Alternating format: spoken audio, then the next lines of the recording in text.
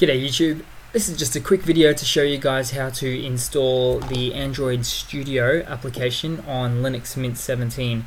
Now Android Studio, as you can see, is already installed on my machine, but I'll show you guys how to do it. So it's quite simple. All you need to do is add the PPA repository and then uh, install the application. So best way to do it is to go to the terminal. So let's go there. And first of all, you need to type in the following, which I'll put down below the video. If I happen to forget, let me know. So starting off, sudo apt add repository, ppa, and the rest. And then after you've entered that in, hit the enter button, throw in your password, and let that load for a tick.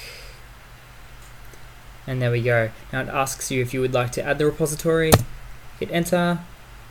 Great let that do its magic and then there will be phase two we need to do out of three phases. So that's one. Number two is to type in sudo apt get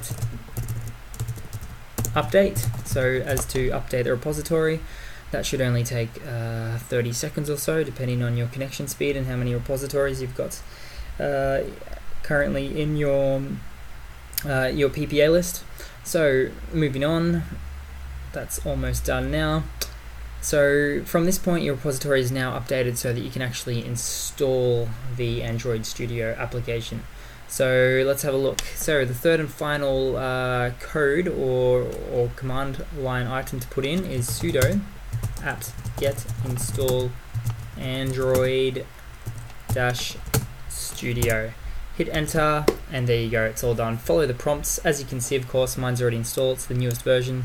But all you need to do is hit yes then enter and it will uh, allow you to complete the installation.